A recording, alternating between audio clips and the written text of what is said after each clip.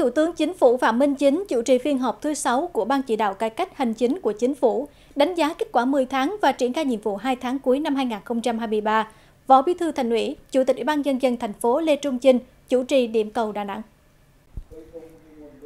Phát biểu khai mạc phiên họp, Thủ tướng Chính phủ nhấn mạnh tầm quan trọng của công tác cải cách hành chính, đánh giá cao những kết quả tích cực trên 6 nội dung, đồng thời cũng nêu ra một số mặt hạn chế bất cập hiện nay, nhất là thủ tục vẫn còn rườm rà, tình trạng đùn đẩy, né tránh trách nhiệm vẫn chưa được xử lý triệt để.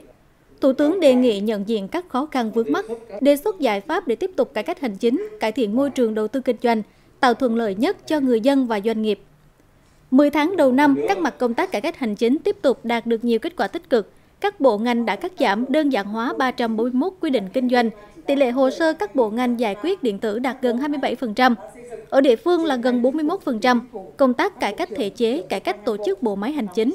Chế độ công vụ tài chính công đạt hiệu quả cao, việc xây dựng và phát triển chính phủ điện tử, chính phủ số được chú trọng. Đến nay có 36 địa phương đã triển khai trung tâm chỉ đạo điều hành thông minh, có 24 địa phương hoàn thành cấp tài khoản định danh điện tử.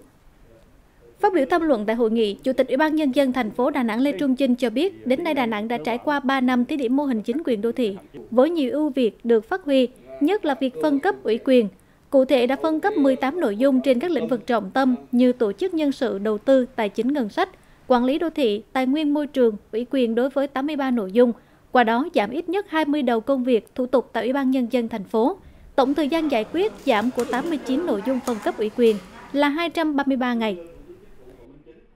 Phân cấp ủy quyền để nâng cao trách nhiệm cá nhân, người đứng đầu là các giám đốc sở, ngành, chủ tịch các quận huyện, gắn kết quả giải quyết công việc với vai trò quản lý và trực tiếp chịu trách nhiệm của các cơ quan chuyên môn và cấp chính quyền, quận huyện, xã phường đối với công việc do chính mình tiếp nhận, xử lý và quyết định. Thì công việc do cấp nào làm thì cấp đó quyết định và chịu trách nhiệm. Đồng thời thông qua việc phân cấp ủy quyền để góp phần từng bước khắc phục tình dần cái tình trạng là né tránh đùn đẩy lên cấp trên hoặc các cơ quan phối hợp. Do đó việc thực hiện đề án bước đầu đạt kết quả tốt, tạo sự đồng thuận trong điều hành. Thời gian đến, Đà Nẵng tiếp tục đẩy mạnh thực hiện phân cấp ủy quyền khoa học hợp lý đi đôi với nâng cao trách nhiệm, đề cao vai trò trách nhiệm của cá nhân, nhất là người đứng đầu, tiếp tục ra soát, bổ sung hoàn thiện các nội dung phân cấp ủy quyền phù hợp với tình hình thực tiễn và quy định của pháp luật và đảm bảo các điều kiện thực hiện. Ủy ban Nhân dân các quận huyện chủ động ra soát thẩm quyền của mình để mạnh dạng phân cấp ủy quyền phù hợp cho Ủy ban Nhân dân xã phường, nhất là các công việc gắn liền với địa bàn dân cư để giải quyết kịp thời yêu cầu của người dân.